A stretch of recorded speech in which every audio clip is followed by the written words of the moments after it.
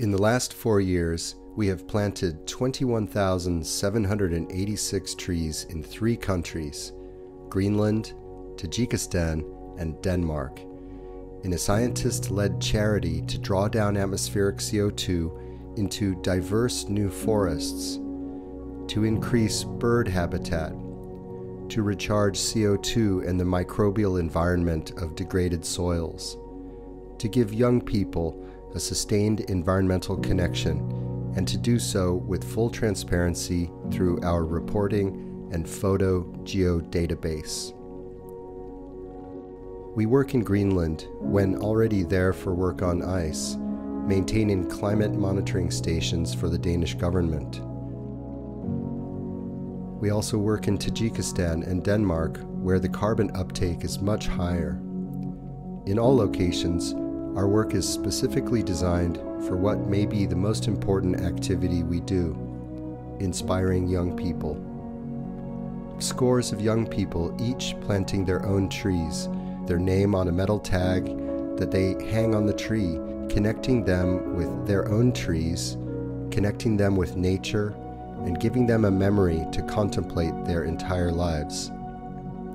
A tree to return to, to climb, and perhaps one day to show their own children. Now, with our Greenland greenhouse running to propagate seeds and cuttings, we have halved the cost per tree to under $2.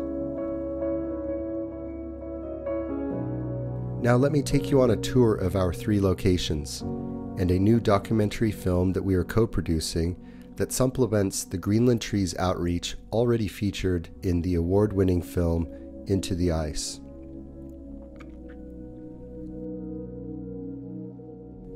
In Greenland for 2023, we plan to continue transplanting hundreds of 3 to 10 year old trees into a fenced plantation with participation of two schools.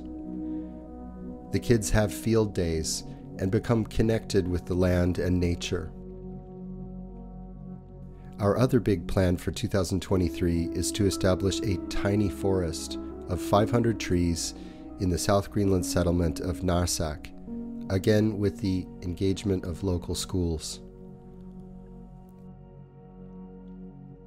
In Tajikistan, we plan to continue planting in shelter belts along the borders of farmland. The shelter belts reduce evaporation and wind stress on crops and livestock. Today is the 7th of December 2022.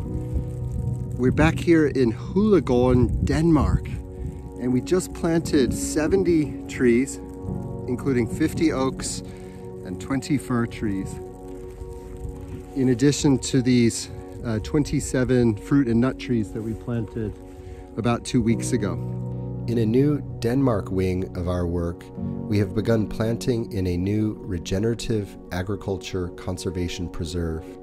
Here, in addition to high carbon uptake, the plants will serve nature and future generations by providing food from fruit and nut trees, sustainably harvest fencing and building materials, and the same farmland benefits as in Tajikistan. Our goal for 2023 is 12,000 new trees, enabling an eventual CO2 drawdown for 2023 planting alone of 800 tons, equivalent with 275 New York to London round trip flights. Join us, and your trees will stand beside ours, capturing carbon for decades to come, dulling the edge of climate disruption and enabling ecological regeneration. Help us make it happen by contributing at tax deductible sites linked below.